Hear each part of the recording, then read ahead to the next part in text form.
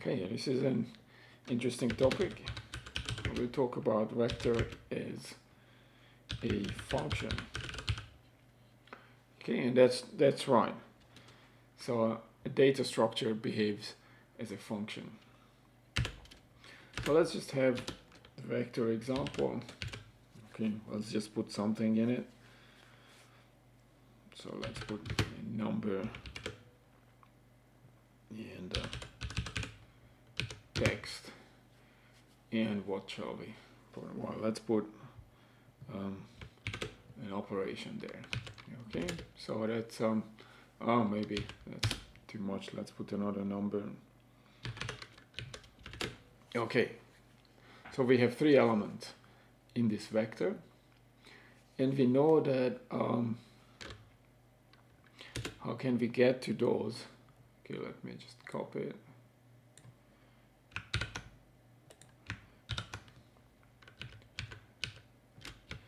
there is this function called nth that takes the vector and takes the index number. So as the zeroth element will be 42, which is well, in everyday language we would say the first element. And index 1, that will be the, the second element, which is the text, the string hello.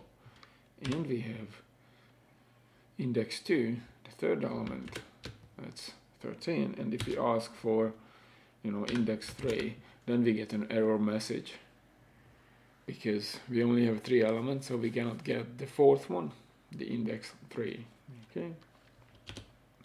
So nth is just for uh, getting the um, nth element. And it works that way that takes the vector and the index number. Okay, so yeah, um, so far so good. But if you think about it, what this is, a vector is just a function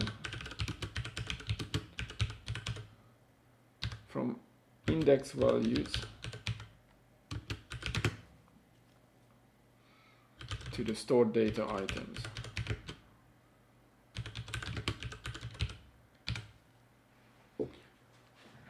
Okay, so what's a function? Well, it's um, just a set of input-output pairs.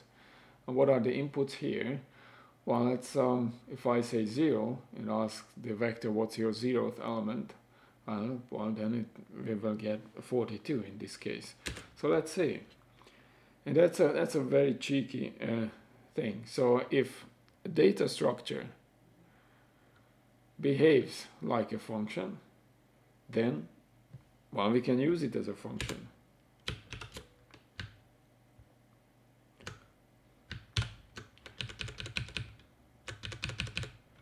Let's see. Okay. So now compare these two. Well, let's uh, one here. So here, if I read this, oh, opening parent, so I will have to do some work. What's the work? Ah, that's the function nth, which takes this uh, sequential collection, this vector, and returns the element at that index. So this is index 0, this is index 1, and this is index 2. Okay, we got that back. However, we can write it this way. Okay, and now let's read this. Opening parent, so work needs to be done. What's the work? So I expect a function okay I get a vector. But Clojure says that oh yeah that's that's good enough for um, for a function because it does make sense. This basically the vector just produces uh, the stored values based on the input which is the their indices.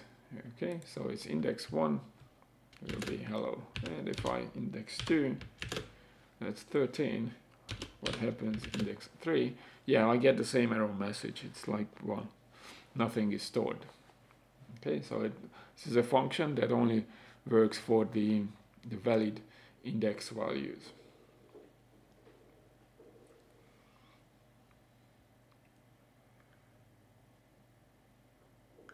Okay, so yeah, this is um, this might be a bit surprising, but it makes total sense. And I can even do something uh, crazy like uh, like the following. I can even compose them. So let's do that.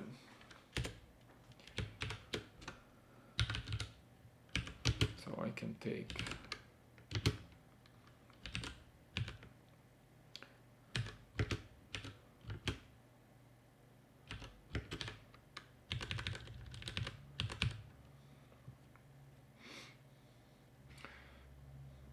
Okay, what shall we write here? Well, apple.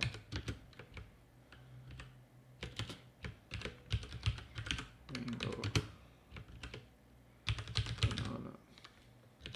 Okay, so I can even do something like this here. So I can compose this. So this is a function composed of two functions, which is um, which are vectors.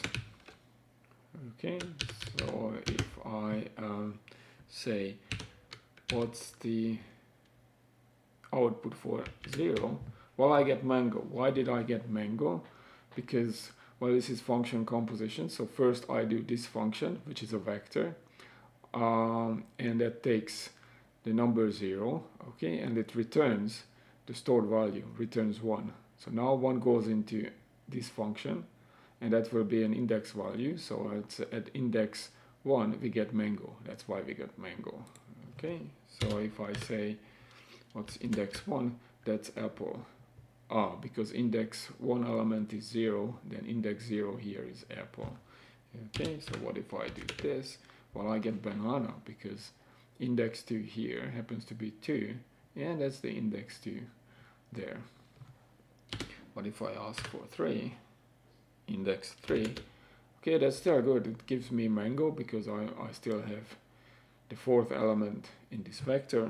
However, for, okay, yes, uh, cannot find index 4 element here. Okay, so that makes sense.